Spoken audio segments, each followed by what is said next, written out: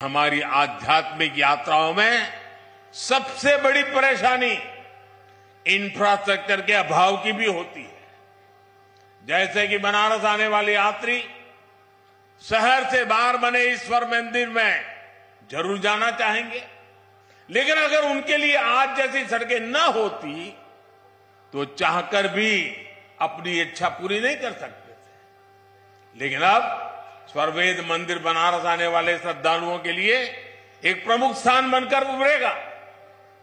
इससे आसपास के सभी गाँवों में व्यवसाय और रोज़गार के अवसर बनेंगे। लोगों की उन्नति के रास्ते खुलेंगे। मेरे परिवारजनों, विहंगम योग संस्थान जितने हमारे आत्मिक कल्याण के लिए समर्पित है, उतना ही समाज की सेवा के लिए भी सक्रिय रहा यही सदाफल देव जी जैसे महर्षि की परंपरा भी है। सदाफल देव जी योगनिष्ठ संत होने के साथ ही आज़ादी की लड़ाई लड़ने वाले स्वतंत्रता संग्राम सेनानी भी थे। आज आज़ादी के अमृत काल में उनके संकल्पों को आगे बढ़ाना उनके हर एक अनुयायी का दायित्व है। मैं पिछली बार जब आपके बीच आया था तो मैंने देश की कुछ अपेक्षाएँ भी आपके सामने रखी थी। आज एक बार फिर मैं आपके सामने नौ संकल्प रख रहा हूँ नौ आग्रह रख रहा हूँ। और अभी मुझे विज्ञान देव जी ने याद भी करवाया कि मैंने पिछली बार क्या कहा था। मेरा पहला आग्रह है, पानी की बूंद बूंद बचाइए। और जल संरक्षण के लिए ज़्यादा से ज़्यादा लोगों को जागरूक करिए। दूसरा गाँव गाँव जाकर लोगों को डिजिटल लेन देन के प्रति जागरूक करिए।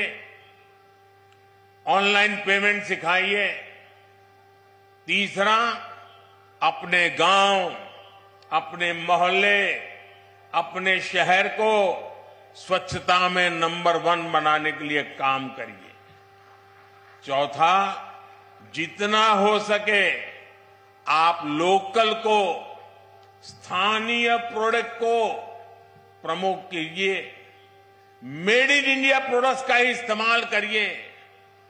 पांचवा, जितना हो सके पहले अपने देश को देखिए। अपने देश में घूमिए। और अगर दूसरे देश जाना हो तो जब तक पूरा देश नहीं देख लेते, विदेशों में जाने का मन नहीं करना चाहिए। और मैं आजकल तो ये बड़े बड़े धन्ना सेठों को भी कहता रहता हूँ कि विदेशों में जाकर के शादी क्यों कर रहे हो भाई?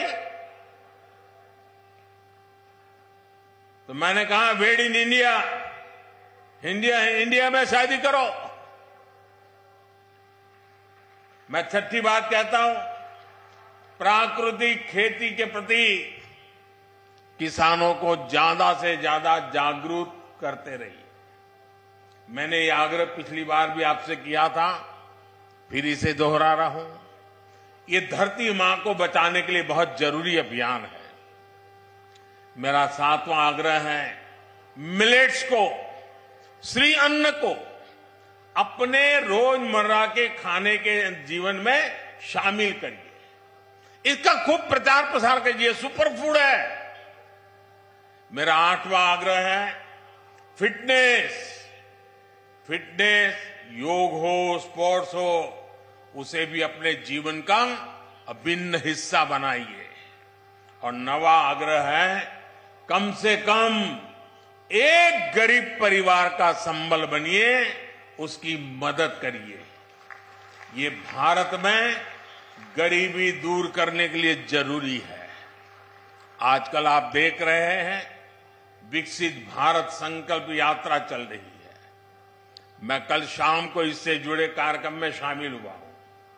अभी कुछ देर बाद यहाँ से मैं फिर विकसित भारत संकल्प यात्रा में शामिल होने जा रहा हूँ।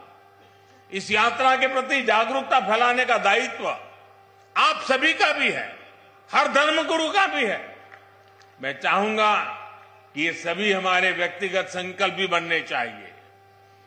गाँव विश्वस्य मातरह का जो है, ये हमारे लिए आस्था के साथ साथ व्यवहार का भी हिस्सा बनेगा तो भारत और तेज़ी से विकसित होगा। इसी भाव के साथ मैं आप सभी का बहुत बहुत धन्यवाद करता हूँ। और पूज्य संतों ने मुझे जो मान सम्मान दिया, मैं उनका भी हृदय से धन्यवाद करता हूँ। मेरे साथ बोले, भारत माता की, भारत माता की, भारत माता की।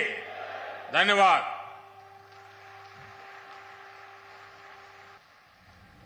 बहुत बहुत धन्यवाद। माननीय आपके प्रेरणादायी उद्बोधन के लिए। प्रधानमंत्री नरेंद्र मोदी को सुना आपने, काशी में संदेश दिया किस तरीके से 2024 में फिर जनादेश यही होगा। ये विश्वास जताया प्रधानमंत्री ने कि देशवासियों पर उन्हें इतना विश्वास है, मौजूदा सरकार ने जो काम किया है 2024 का जनादेश भी उन्हीं के पक्ष में होगा। काशी में बोले प्रधानमंत्री नरेंद्र मोदी, तमाम बड़ी बातें आपके सामने। देश विरासत पर गर्व करना है और यहाँ देश अपनी विरासत पर गर्व करना भूल गया था, इस बात का भी ज़िक्र किया, लेकिन हमें ये करना है। स्वर्वेद महामंदिर योग ध्यान का तीर्थ स्थल है, काशी में बोले प्रधानमंत्री नरेंद्र मोदी।